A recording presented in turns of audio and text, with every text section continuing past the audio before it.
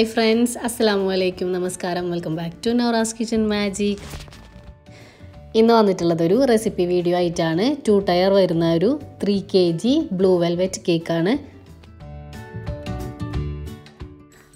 അപ്പോൾ ഇതിൽ ഡീറ്റെയിൽ ആയിട്ട് ഞാൻ റെസിപ്പിയാണ് ചെയ്യുന്നത്. അപ്പോൾ ആദ്യം തന്നെ പന്ത്രണ്ട് എഗ്ഗാണ് നമുക്ക് വേണ്ടത്. റൂം ടെമ്പറേച്ചറിലുള്ള പന്ത്രണ്ട് എഗ്ഗ് എടുത്തിട്ടുണ്ട്. അതിലേക്ക് മൂന്ന് കപ്പ് പൗഡേഡ് ഷുഗർ ഇരുന്നൂറ്റി അമ്പത് എം എല്ലിന്റെ കപ്പാണ് അതിലേക്ക് മൂന്ന് ടീസ്പൂൺ വാനില എസൻസും കൂടി ആഡ് ചെയ്തിട്ട് ഇപ്പോൾ സ്റ്റാൻഡ് മിക്സറിലായതുകൊണ്ട് ഞാൻ ഒരുമിച്ചാണ് ഇടുന്നത്. നിങ്ങൾ ഹാൻഡ് വെച്ചാണ് ചെയ്യുന്നതെങ്കിൽ പൗഡർ ഷുഗർ കുറേശ്ശെ കുറേശ്ശെ ആയിട്ടാണ് ആഡ് ചെയ്യേണ്ടത്.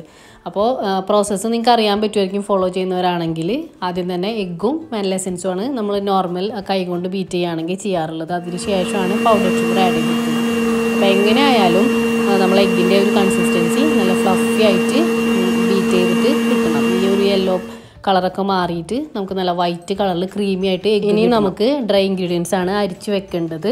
അപ്പോൾ ക്ലീൻ ആയിട്ടുള്ള ഒരു ബൗളിലേക്ക് മൂന്ന് കപ്പ് മൈദ എടുക്കുക. നമ്മൾ പൗഡർ ഷുഗർ എടുത്ത സെയിം കപ്പാണ് ഇരുന്നൂറ്റി അമ്പത് എം എല്ലിന്റെ അതിലേക്ക് മൂന്ന് കപ്പ് എടുത്തിട്ടുണ്ട്.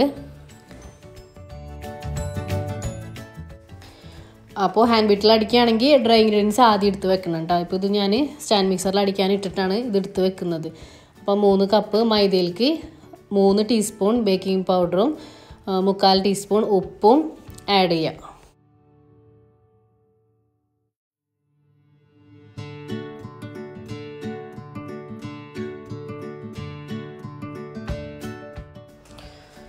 ഇനി അതിലേക്ക് വേണ്ടത് ലൈറ്റ് കൊക്കോ പൗഡറാണ് ഞാൻ ഹെർഷീസിന്റെ കൊക്കോ പൗഡർ എടുത്തിട്ടുള്ളത്. മൂന്ന് ടീസ്പൂൺ. നമ്മളിത് റെഡ് വെൽവെറ്റ് ചെയ്യുന്ന ഒരു സെയിം റെസിപ്പി തന്നെയാണ് ചെയ്യുന്നത്.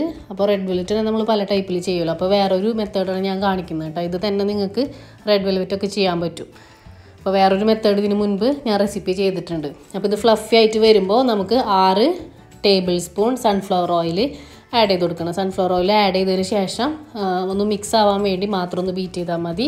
ഇനി നമുക്ക് ഫോൾഡ് ചെയ്യാണ്. അപ്പോൾ ബീറ്ററിലാണെങ്കിൽ ബീറ്റർ മാറ്റി വെക്കുക അപ്പോൾ ഇതിൽ ഫോൾഡ് ചെയ്യുന്ന ബ്ലേഡാണ് ഞാൻ ഇട്ട് കൊടുത്തേക്കുന്നത് അപ്പോൾ ഇനി നമ്മൾ അരിച്ച് വെച്ചിട്ടുള്ള ഫ്ലോറും മുക്കാൽ കപ്പ് റൂം ടെമ്പറേച്ചറിലുള്ള പാലുമാണ് വേണ്ടത്. അത് രണ്ടും കൂടിയും മിക്സ് ചെയ്യണം കേട്ടോ. അപ്പോൾ ഫ്ലോറ് ആഡ് ചെയ്ത് കൊടുത്തിട്ട് ഒന്ന് മിക്സ് ആവാൻ വേണ്ടിയിട്ട് ഒന്ന് ബീറ്റ് ചെയ്യുന്നുണ്ട്. അതിന് ശേഷം അതിലേക്ക് പാൽ കുറേശ്ശായിട്ട് ആഡ് ചെയ്ത് കൊടുക്കുക. അപ്പോൾ ഫ്ലോറും മിൽക്കും കൂടി മാറി മാറി മിക്സ് ചെയ്യുക. അപ്പോൾ മിക്സ് ചെയ്യാൻ ബുദ്ധിമുട്ടുള്ളവർ വേണമെങ്കിൽ നമുക്ക് ബീറ്റർ കൊണ്ട് മിക്സ് ചെയ്യുക പക്ഷെ അത് ഒന്നെന്നുള്ള സ്പീഡിൽ മിക്സ് ചെയ്യുക. അത് ഓവർ ബീറ്റ് ആയി കഴിഞ്ഞാലും നമ്മൾ എഗ്ഗിന്റെ ഒരു ഫ്ലഫി ആയിട്ടുള്ള ഫോമൊക്കെ പോകും. അപ്പോൾ അതുകൊണ്ട് അത് ശ്രദ്ധിക്കണം. ഫോൾഡ് ചെയ്യാൻ കുറേ പേര് ബുദ്ധിമുട്ട് പറഞ്ഞിട്ടുണ്ടായിരുന്നു. ഇനി അതിലേക്ക് നമ്മൾ കളർ ആഡ് ചെയ്യണം. ഇനിയിപ്പോൾ കുറച്ച് ഫ്ലോറും കൂടി ഉള്ളൂ മിക്സ് ചെയ്യാനായിട്ട്. അപ്പോൾ കളറ് ബ്ലൂ ജെൽ കളറാണ് ഞാൻ ആഡ് ചെയ്ത് കൊടുത്തിട്ടുള്ളത്. ജെൽ കളർ തന്നെ ആഡ് ചെയ്യാൻ ശ്രദ്ധിക്കുക. അപ്പോൾ അതാവുമ്പോൾ നമുക്ക് കുറച്ച് മതി. കളർ ഒരുപാട് വേണ്ടി വരില്ല. അപ്പോൾ ഒരു കളറ് നമുക്ക് കിട്ടുന്ന ഒരു അളവിൽ കുറച്ച് ആഡ് ചെയ്ത് കൊടുത്താൽ മതി. ഞാനിപ്പോൾ ഇവിടെ ഒരു ഒരു കാൽ ടീസ്പൂണിന്റെ അടുത്തേ ആഡ് ചെയ്തിട്ടുള്ളൂ. ബ്ലൂ നമുക്ക് പെട്ടെന്ന് കളർ കിട്ടും. അപ്പോൾ അത്ര ഒരുപാട് നമ്മൾ ആഡ് ചെയ്യണ്ട. അതൊന്ന് മിക്സ് ആക്കിയതിന് ശേഷം ബാക്കിയുള്ള ഫ്ലോറും കൂടി ഇട്ടിട്ട് ഒന്നും കൂടി ഒന്ന് മിക്സ് ചെയ്യുക എന്നിട്ട് ലാസ്റ്റ് സൈഡിലേക്കൊക്കെ ഇരിക്കണമൊക്കെ ഒന്ന് എല്ലാം കൂടി ഒന്ന് കമ്പൈൻ ചെയ്തിട്ട് ഒന്ന് മിക്സ് ചെയ്ത് കൊടുക്കുക അപ്പോൾ ഞാൻ പറഞ്ഞില്ലേ റെഡ് വെൽവെറ്റ് ഇത് വേറൊരു മെത്തേഡാന്ന് പറഞ്ഞല്ലോ. സാധാരണ നമ്മൾ ബട്ടർ മിൽക്ക് യൂസ് ചെയ്യും. അതിന് പകരമാണിത് വിനാഗിരിയും ബേക്കിംഗ് സോഡയും കൂടിയാണ് ഏറ്റവും ലാസ്റ്റ് ആഡ് ചെയ്യുന്നത്.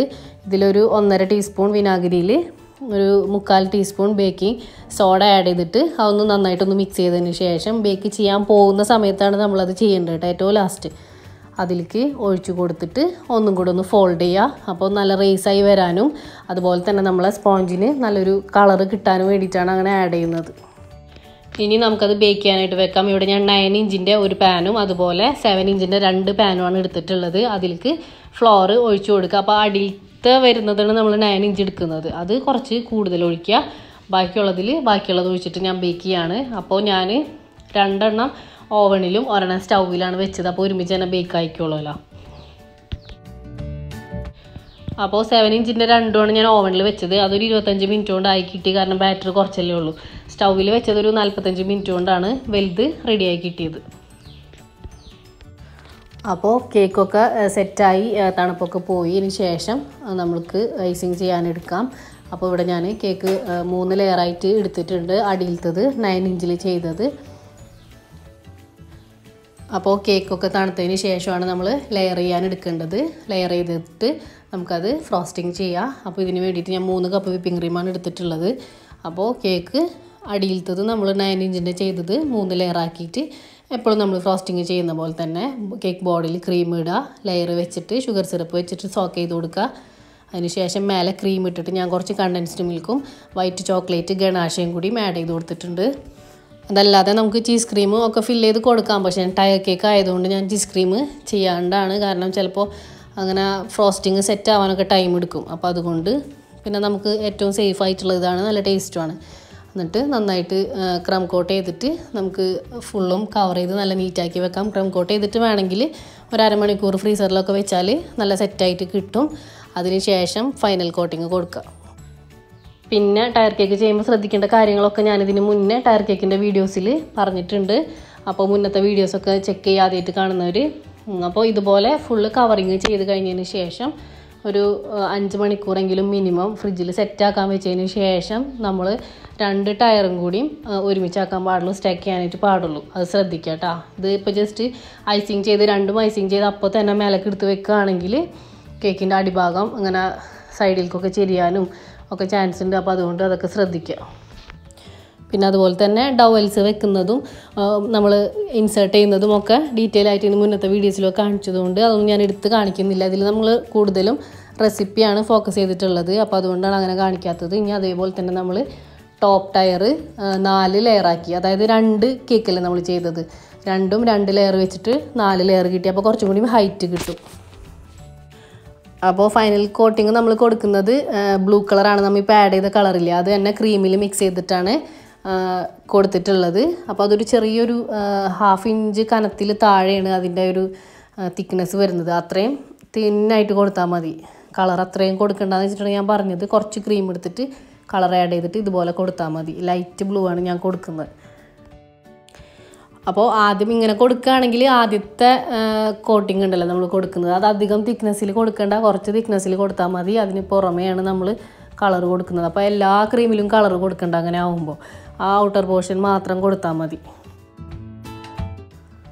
അപ്പോൾ കേക്കിന്റെ രണ്ട് ടയേഴ്സും ഇതുപോലെ തന്നെ ഐസിങ് ഒക്കെ ചെയ്ത് നല്ല ഫിനിഷ് ആക്കിയതിന് ശേഷമാണ് ഞാൻ പറഞ്ഞത് നന്നായിട്ട് ഫ്രിഡ്ജിലിരുന്നിട്ട് സെറ്റ് ആവണം. ഇനി സെറ്റ് ആവാൻ ഫ്രീസറിലൊന്നും വെക്കണ്ട. ഫ്രിഡ്ജിലിരുന്നിട്ട് സെറ്റ് ആയതിന് ശേഷം എടുത്തിട്ടാണ് സ്റ്റാക്ക് ചെയ്യേണ്ടത്. അപ്പോൾ ഇങ്ങനെ ചെയ്തിട്ട് നമുക്ക് ഡവൽസ് താഴെ വെക്കണമെങ്കിൽ വെക്കാം. അതല്ലെങ്കിൽ മേലെ വലിയ നീളത്തിലുള്ള സ്ക്യൂറോ അല്ലെങ്കിൽ ഡവലൊക്കെ ഇൻസേർട്ട് ചെയ്തും വെക്കാം. ട്രാവലിംഗ് ഒക്കെ ചെയ്യുന്ന കേക്കാണെങ്കിൽ കമ്പൽസറി ആയിട്ടും അത് വെച്ചിരിക്കണം കേട്ടോ അല്ലെങ്കിൽ ചെരിഞ്ഞ് പോകും. മേലത്തെ ടയറൊക്കെ ചെരിഞ്ഞ് പോകാൻ ചാൻസ് ഉണ്ട്. അപ്പോൾ നമ്മളെ കേക്ക് കറക്റ്റായിട്ട് സ്റ്റാക്ക് ചെയ്ത് വെച്ചിട്ടുണ്ട്. അപ്പോൾ പതുക്കൊന്നതുപോലെ ഒന്ന് തട്ടി കൊടുത്തു കഴിഞ്ഞാൽ കറക്റ്റ് സെറ്റായിരുന്നോളും അപ്പോൾ കണ്ടില്ലേ? അപ്പോൾ ഇത് കഴിഞ്ഞിട്ടും ഫ്രിഡ്ജിലേക്ക് എടുത്ത് വെക്കുക നന്നായിട്ട് സെറ്റ് ആയിക്കോട്ടെ അതാണ് ഏറ്റവും നല്ലത്. അപ്പോൾ ഇതിങ്ങനെ ചെയ്തതിന് ശേഷം ഒരുപാട് സമയം ഇപ്പോൾ ഓവർനൈറ്റ് ഒന്നും വെക്കണ്ട ഫ്രിഡ്ജിൽ ക്രാക്ക് വീഴാനുള്ള ചാൻസ് അങ്ങനെയാണ് വരിക.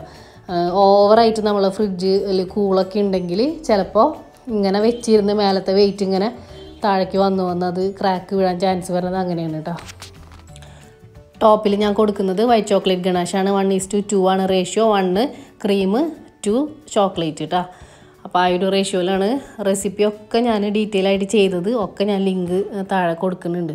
അപ്പോൾ നിങ്ങൾക്കൊരു റെഫറൻസിന് ഈസി ആയിരിക്കും. ഇനി അത് ഫുള്ളായിട്ട് ഫുള്ള് ഡ്രിപ്പായിട്ടുള്ള ഒരു മോഡലാണ് ചെയ്യണത്. അപ്പോൾ അതുകൊണ്ടാണ് ഇങ്ങനെ ചെയ്തത്. ഇനി നമ്മൾ അതിൽ തീം വരുന്നത് ടെഡി ബിയറാണ് ടെഡി ബിയറും കുറച്ച് സ്റ്റാറും ഒക്കെ വെക്കുന്നുണ്ട്.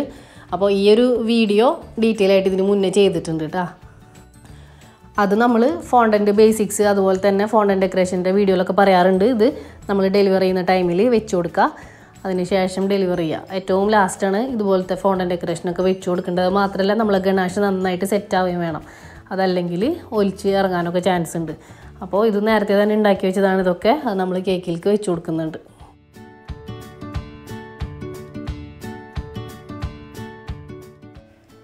അപ്പോൾ എല്ലാം വെച്ച് കൊടുത്തിട്ടുണ്ട് ടോപ്പേഴ്സ് ഇനിയിപ്പോൾ സൈഡിലും ഒക്കെ കുറച്ച് സ്റ്റാറും ഒക്കെ വെച്ച് കൊടുക്കുന്നുണ്ട് അതൊക്കെ നമ്മൾ നേരത്തെ തന്നെ റെഡിയാക്കി വെക്കണം കേട്ടോ